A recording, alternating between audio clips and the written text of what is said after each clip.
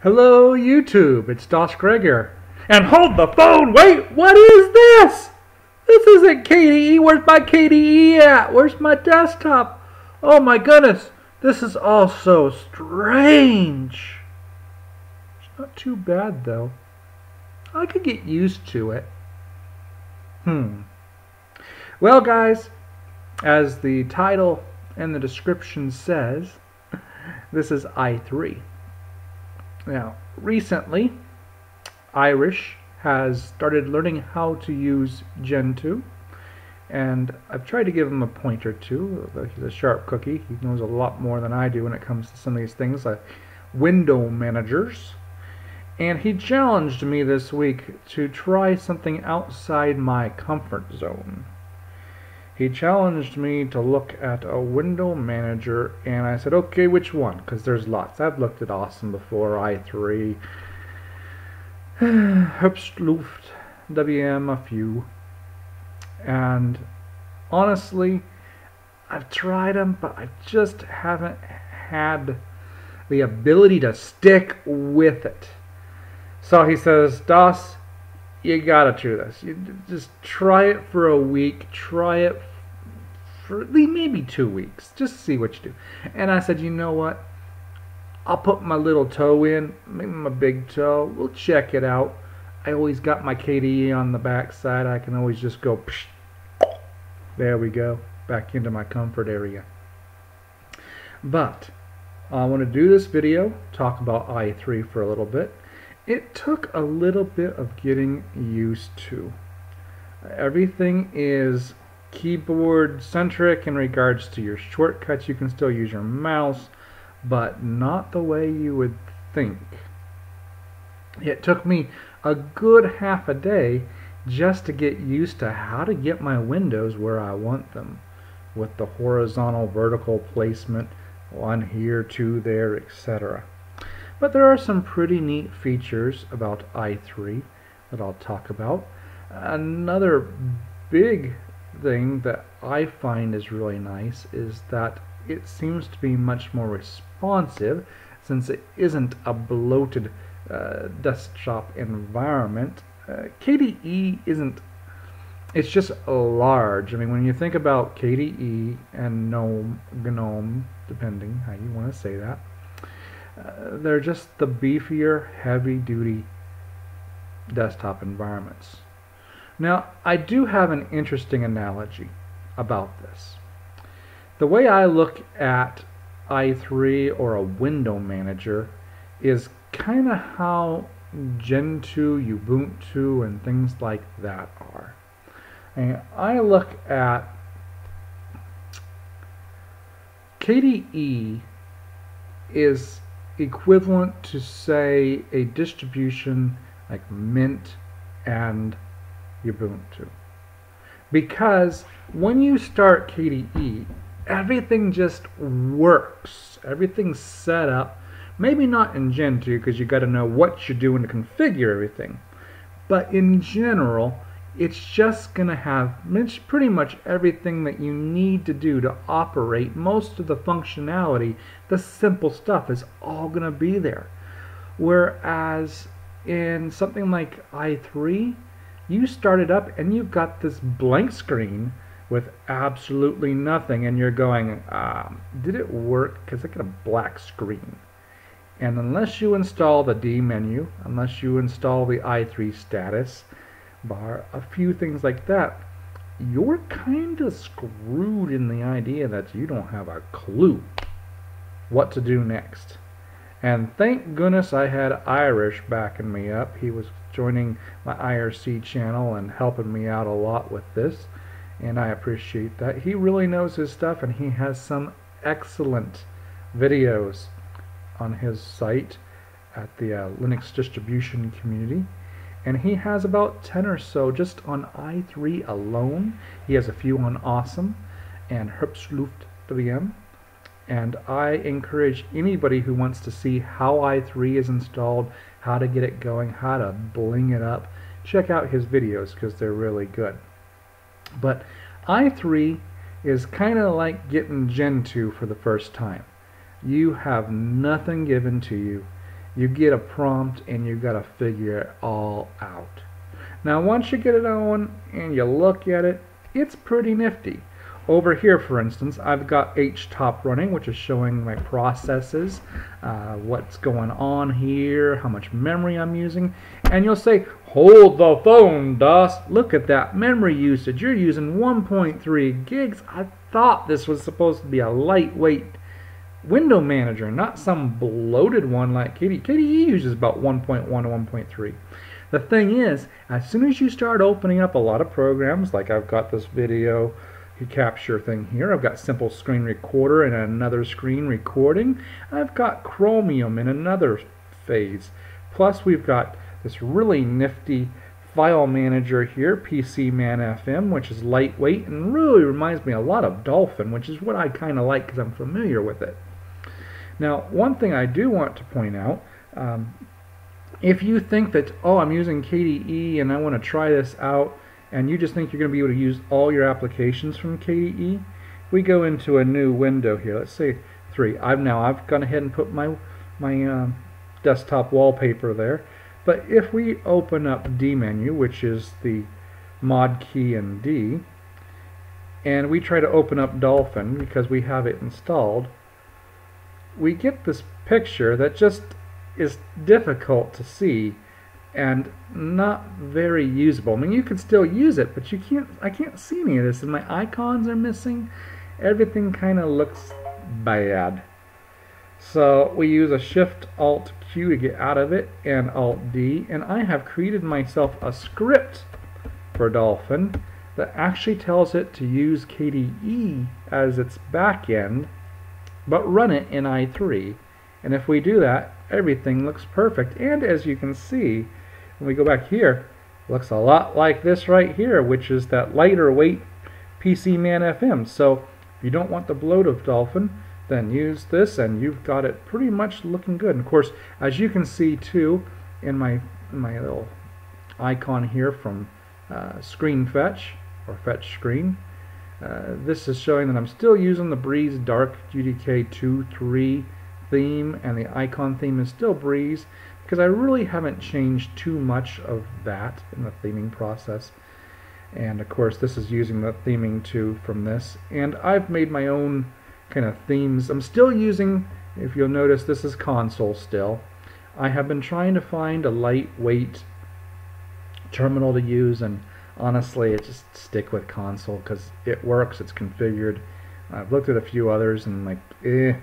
In fact, you know, just to give an example, if we go back to this area here, close this, and if we try to open up a different console, like um, RX uh, VT, I think it is.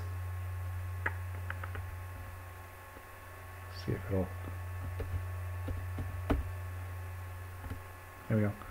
See, for some reason, now I've changed a few things with the .Xresources and that sort of stuff, but this is what I'm getting, and that's just kind of strange. And when you look at this and start it from a command area, and let's see here, that's URX VT. Well, I was getting a lot of errors that said something about substituting such and such colors, or actually substituting pink for such and such color. I'm like, what the? What? Why is everything pink? I don't like like that at all. So, kind of strange. Also, getting stuff like this to work right is really difficult. For instance, if we go back into here and say I was going to open up uh, Chrome. So we'll open up Chrome and then say, okay, I want my terminal, so I open that up. It's going to put it side by side. And then say I, I want to have that FM thing. So I've got a hotkey. It just keeps putting it side by side. And next thing you know, you've got these really skinny applications. And then you say, oh, I don't like that. Let's move them around. So you hold it and you hit the Alt, Shift, and an arrow, and you can move that left and right. And you can move it up. Hey, we're, we're getting better. And then I found that, okay, I want this to be in the main window. I want these two to be over here. So I highlight it and I hit the Alt Shift and the side button and now we're there. But in the beginning, I was doing that and I was going, ah, I don't know what I'm doing. I can't make this work because it's all weird and I'm not used to it. But you know what? As you can see up here, my runtime, does it say it? It doesn't say. Yes, it does. Uptime, one day, 20 hours. So almost two full days I've been up on this particular one and have not rebooted and everything's good and I'm finally learning all that strange stuff and it's getting good. So it's interesting.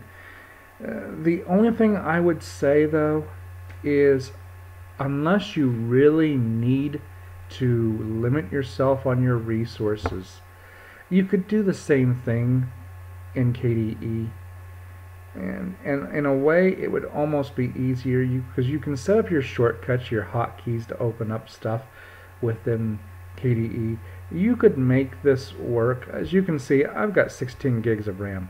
I don't need to have a lightweight system like this but I do admit it is speedier it is a little bit more responsive I'm getting used to some of the things that it does like just having to highlight over here and I can start typing bring it back over here and start scrolling come back over here. And of course there I gotta click to get into there but I could just start working with this again. And that is kind of nice how the focus follows but you could do the same thing in KDE most everything is there. Now you have some really neat uh, command line interface utilities out there but once again you could run those now I run my my IRC actually through a web browser with WeeChat because I use a web, uh, WeeChat relay for that, but IRC is a really good text, uh, and you can use WeeChat through the text, or, or, I mean, when I say that, I mean the command line interface without any problems in a terminal. there's a lot of really neat features and things that you can do if resources is an issue for you, or CPU um, isn't beefy enough for some of those, because I have tried KDE, say on an older system, and it just crawls because of its requirements for such intensive resource management. But anyway, I've been rambling, going on, and I probably forgot half the things I wanted to talk about with i3. It is interesting, like I said, Irish is the man to know over there at the uh, Linux distribution community. So go check out his stuff, look at it, see what you can find out. And let me know. I'm curious about you guys out there.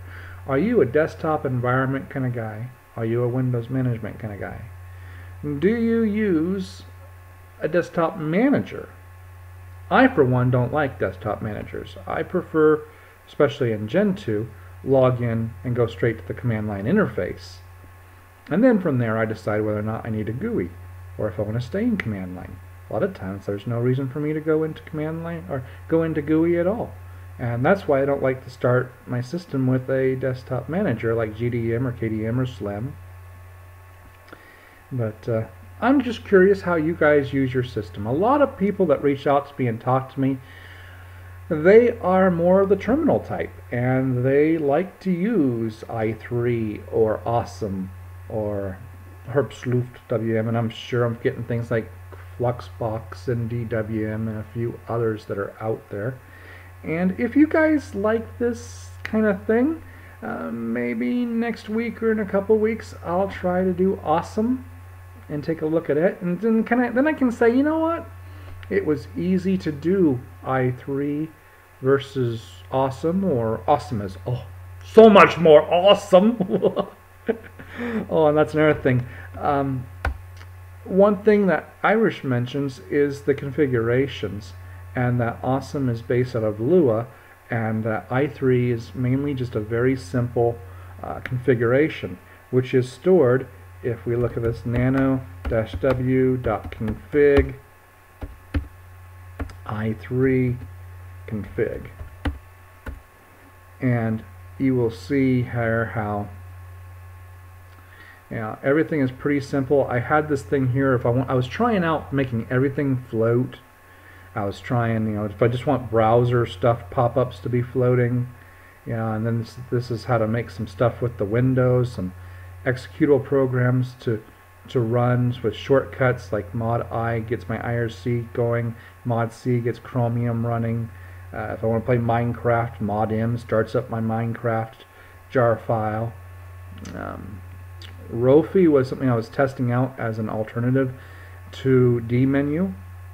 And then of course PCManFM I've set up for my for my file manager and so forth. But it's all quite simple all right in here. You can set everything up. And like I said, his thing goes right into this and explains it. But this is really very easy to look at and simple to get going. But it can be very daunting when you first try it out. Because i3, I found very little information when I was trying to get going. And there are no Gentoo wikis that I know of right now that tell you even how to install it. So it's not difficult if you got a buddy like Irish to point you in the right direction, but it can be a little difficult if you don't know where to begin. They have some excellent material at the i3 website, which I'll make sure to link in the description. And uh, try it out if you like, but most of all, leave me a comment and let me know if you're a window manager kind of guy or a desktop environment kind of guy where you've got the full-blown KDE GNOME with Unity, everything else. Thanks a lot. If it's morning, evening, noon, or night, whatever you're having, enjoy it, and we'll talk to you later. Bye, guys.